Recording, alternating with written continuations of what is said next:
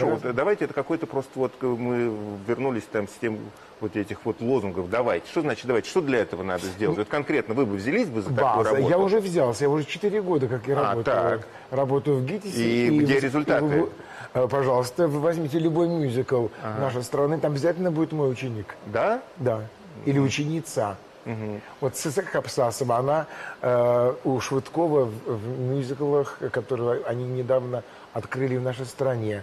Я знаю, что очень... э, Женя Сан- Сангаджиев вообще один из лучших артистов Кирилла Серебренникова. Э, ну что вы, у меня такие ученики, они все синтетически воспитанные. Пожалуйста, они могут выполнить любое творческое задание. Не политкорректно, но без злого умысла. Иронично, но без сарказма. Пристрастно, но по-честному. «Правда-24» и Евгений Додолев.